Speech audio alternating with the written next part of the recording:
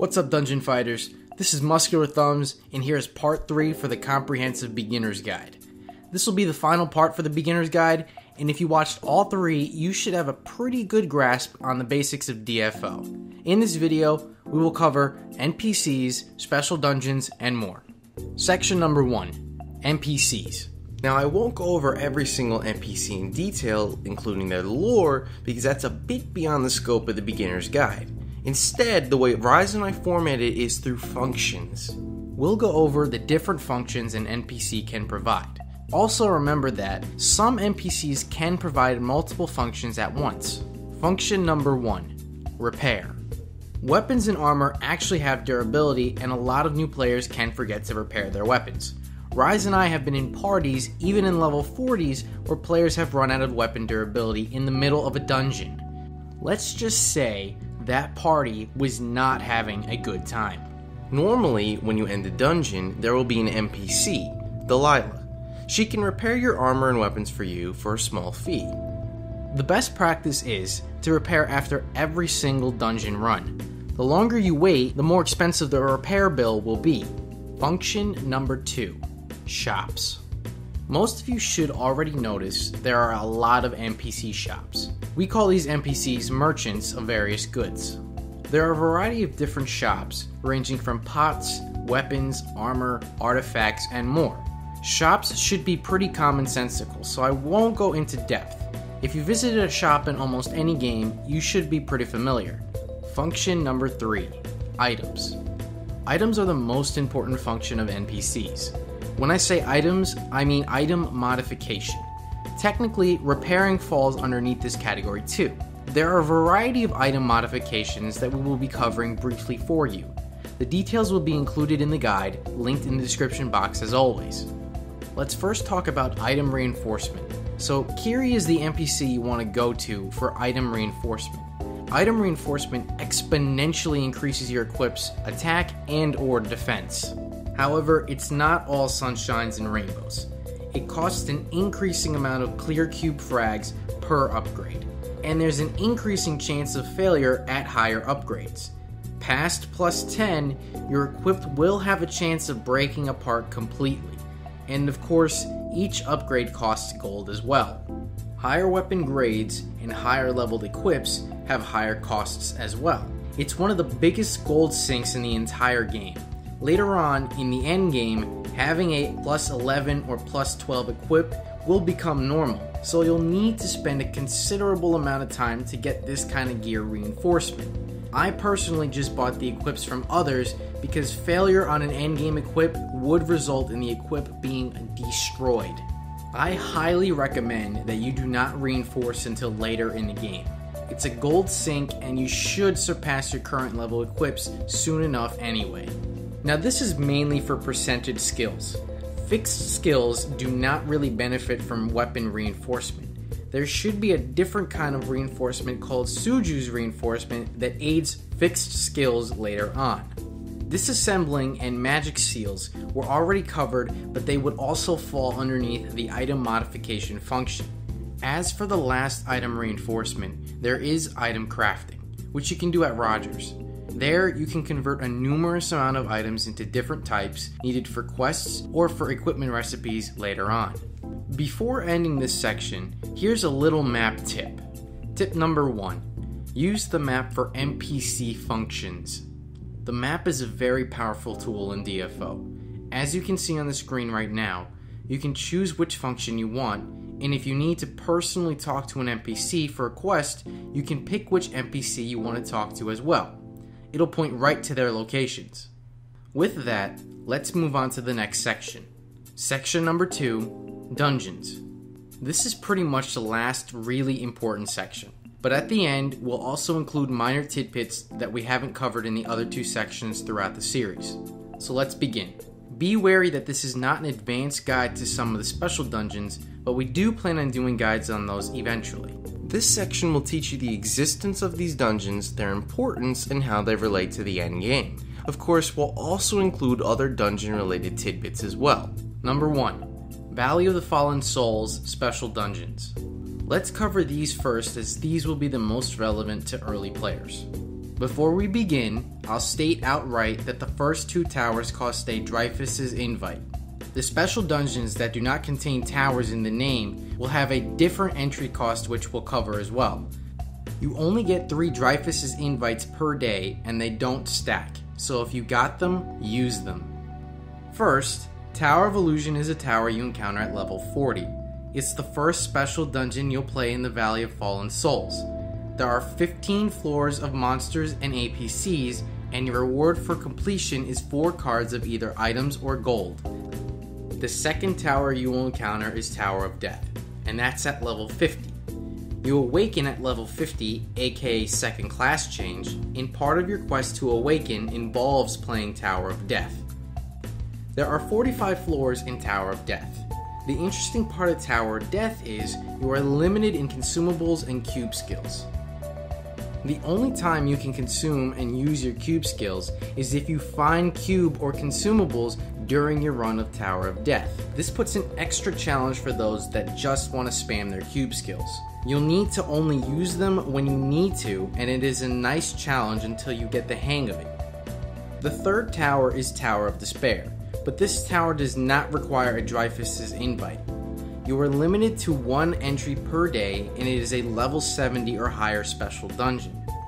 This tower is probably not in the game just yet. Also, this tower is a bit special.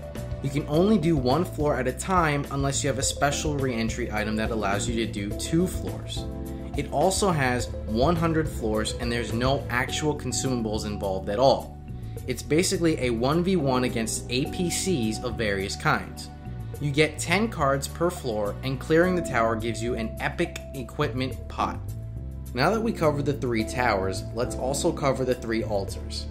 None of the altars are in the game just yet, but they will be eventually, except maybe one that may never be, but we'll cover that in detail later. Let's start with Altar of Infinity. To enter, you need gold, and each re entry requires an even greater amount of gold. You gain access to this altar at level 60 or higher, and you also encounter 15 waves of monsters in 3 rooms, but you do not get character buffs to help you out. Clearing gives you 10 cards of goods. Altar of Ascensions is similar to Infinity. The entry limit is level 65 or higher, and you are also limited to a party size of 2. There are 7 waves of monsters, and there's a limit of 3 entries per day.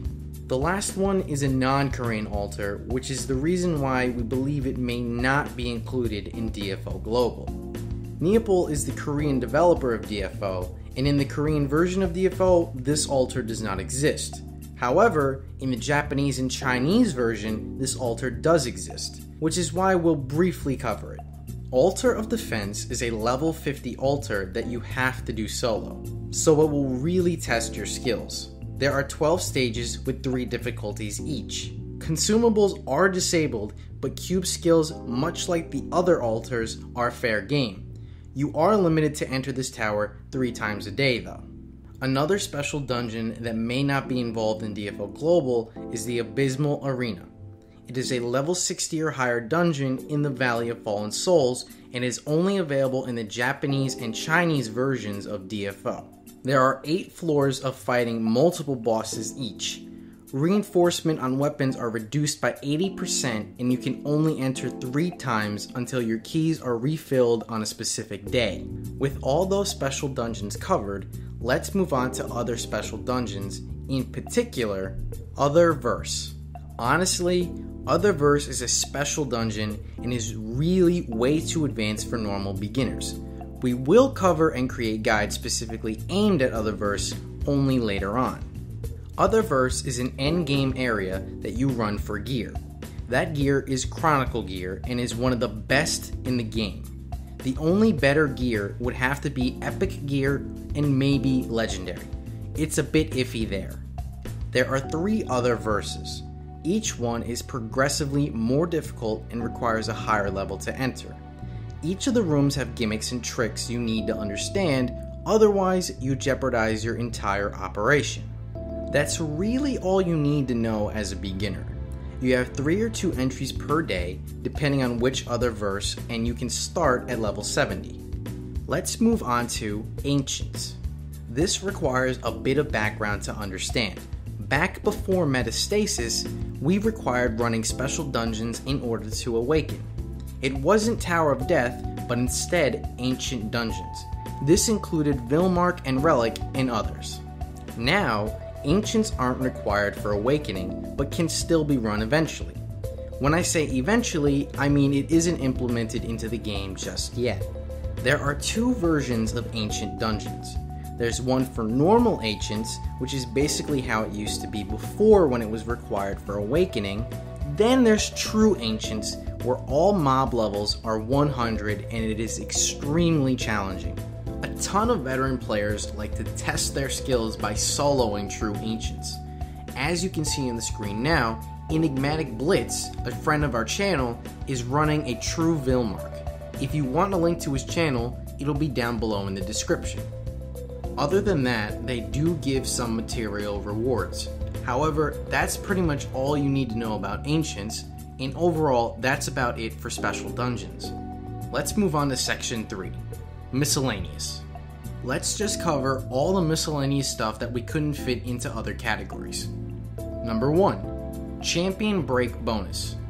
As you might have noticed throughout your dungeoning experience, sometimes you'll earn a buff at the end of your runs, and in the next run, that buff will be active. That buff is a champion break bonus. To earn it, you need to kill 10 special mobs in a dungeon. Special mobs are just regular mobs but with added effects. You'll notice them periodically throughout your dungeoning experience. You'll notice it activate when you see the break bonus avatar on the top right corner of the screen go on fire. It only happens after 10 special mobs have been eliminated, so you don't need to do a full clear to activate it, but you can. At the end of dungeons, you'll be asked to pick a card on the bottom row, so make sure you do. Once chosen, that card will give you either a free random item or activate a buff instead. There is a chance of a 100% clear bonus experience buff, 50% monster hunting experience buff, plus 11 weapon upgrade buff, and more. Now, let's talk about Gabriel. Sometimes you'll notice at the end of runs you'll encounter someone called Gabriel instead of Delilah. He sells equips, cubes, and consumables and sometimes even gives away epic gear. I recommend trying to buy any equips and cube frags he sells since normally he sells way below market price. Finally, let's talk about boss uniques and normal uniques. There's actually two uniques, normal and boss uniques. You might have noticed them in your dungeoning experience. Boss uniques are untradeable and are named after the boss itself. If you cannot use these, grinding them up in either a normal disassembler or personal profession disassembler is recommended. And here we are, at the end of the comprehensive beginner's guide. What a ride! Rise and I really hope you found this useful, and we really appreciate you watching until the very end. Grab that sub if you're hungry for more Dungeon Fighter Online videos because we will be making plenty more for you as long as you guys want them. This has been Muscular Thumbs. Deuces.